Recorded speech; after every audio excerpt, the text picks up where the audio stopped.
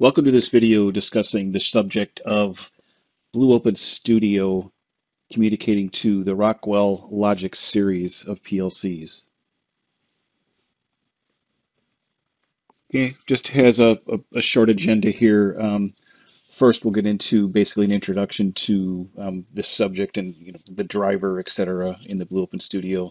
Then uh, we'll take a look at uh, my example in the Studio 5000 environment, which is the the programming software for the PLC, and then we'll take a look at the Blue Open Studio environment, and then we'll just we'll just show the two talking together. Okay. Okay, so as an introduction and some basic facts, so in, in Blue Open Studio, you're going to go and you're going to select the AB CIP driver. Um, this driver supports ControlLogix, Flex Logix, CompactLogix, and Micro, in MicroLogix PLCs.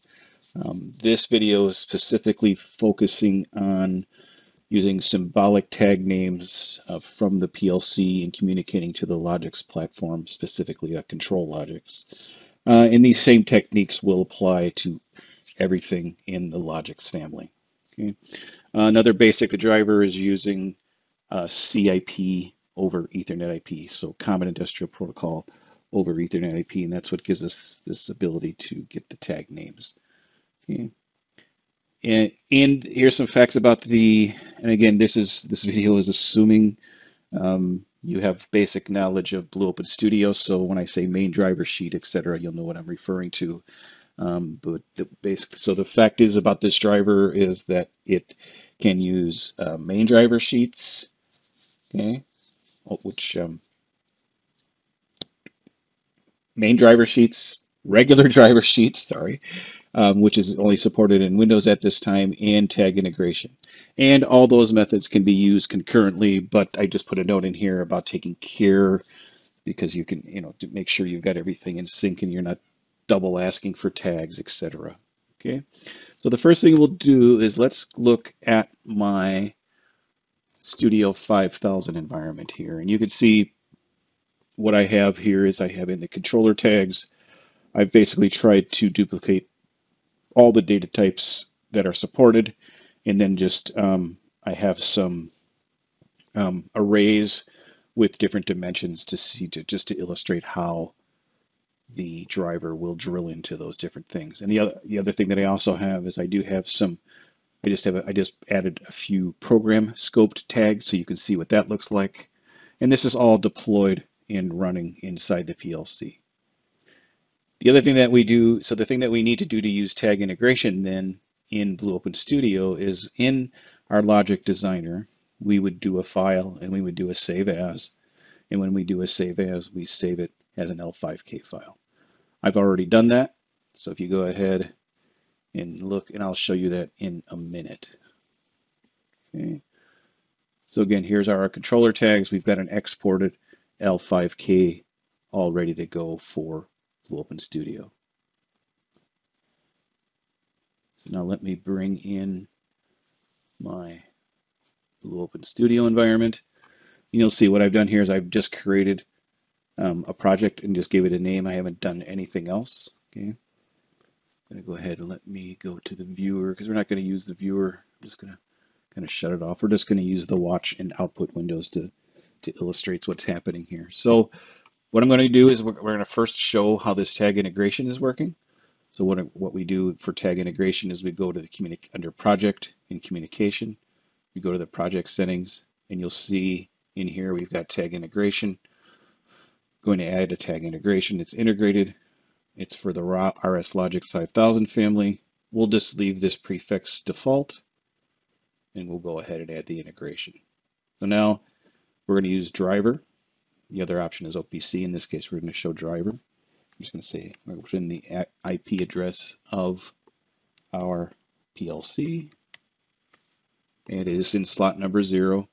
And then you'll see here, this is where you're being asked to um, basically import this L5K into Blue Open Studio. So we're going to browse for the file. Okay. Here's my L5K. Okay. We'll click OK. Okay. Click OK. and it's a little bit hard to tell, but something did happen. So it basically, what it did is it created a link basically between the project and that uh, L5K tag file. So now, for example, if you go in here in the watch window, or if, for example, if we'll, we'll show in a screen. So if I add a screen, I'll just, just to get it in here, and then we'll just add a text box. When I go into the configure the text box, and now when I go browse for my tag, what you'll notice is we've got a device folder under here under devices, and you'll see here's my three-dimensional integer array, everything that cannot be contained within a, the structure of the tag name. It has a root, so this is this is the base, and then here are the other structures that demand a more of a, a breakout of the structure into individual pieces. So you can see here's that additional program scope tags with the program main program dot local and then the name, you know, main program dot then the name. Okay. So in this case, what we'll do is we'll just very simply, we'll say, we'll put tag integer, we'll say okay. okay. And then, right. And then what you'll notice is if you go to, if you go to the comms tab, and if you look at the drivers folder, you'll notice there's no driver, okay? But what we can see at this point is if we just go ahead and save. Okay. And we'll just say tag integer. Okay, so now if I just go ahead and run that project, you'll see that it picked up beta. So everything is working okay. So the tag integration itself is effectively adding a driver sheet that is at this point hidden for you behind the scenes. And you theoretically never have to touch it if you're just going to use tag integration. Okay, let's go ahead and stop. Okay, so if you want to use the tag integration, but you also want to have the, say, the finite, the finer control using um, main driver sheets and additional driver sheets, what, what happens is, is if you go here now and you right click on the drivers folder and say add remove drivers, what you'll notice is that it actually added this, it had already selected the driver for you. It was basically waiting for you to kind of unleash it, so to speak. So now when I, I do that and I click OK, now you'll notice that I have a main driver sheet like that. Okay. And then the syntax that that follows is if you go, you need to go to the uh, um, the manual for the driver. So you can see here, this is talking about configuring the driver worksheets. So you can see here, this is the format of the data that we want to have in the driver sheet. We're going to have our tag, we're going to have a station number with a slot number, and then here you can see this is how the format of those um, items need to look in the driver sheet. Okay, so that's all discussed in the driver manual. Okay, so I'm just going to go ahead and close that driver sheet. And then what I'll do is I'm going to come in here and like show for example, how do I get at a program scope tag? So I would simply click on the main program. I would go here. Now we go here. Okay. You can see. Okay. Go in here. I'll go at this like three dimension array. And let's say I'll go, here's my, okay. And then I'll give it an index. I'll say one, for example. Click OK. And then you can see that's added to our watch window there.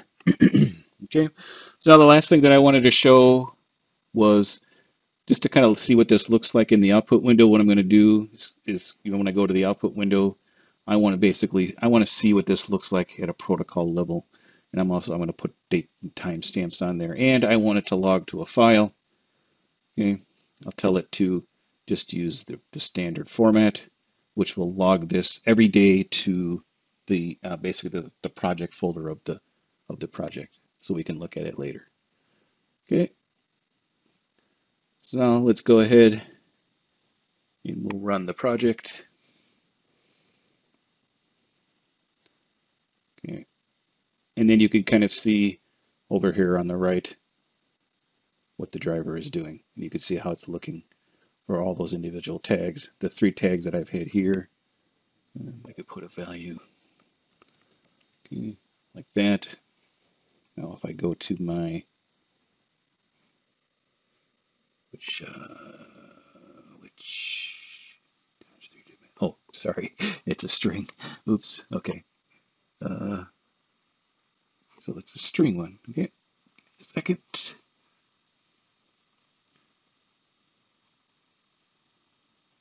And you can see there's my 444 has a string, okay? So, like I said, just a quick video to kind of show the basics of getting this uh, connection going. Um, hopefully this will be the start of a series of videos where we'll discuss different aspects of this. Um, you know, we can get into how to, you know, a little bit more on how to make a manual, you know, main driver sheet, additional driver sheets, etc. Tag integration, um, more more items about that. So thanks for watching.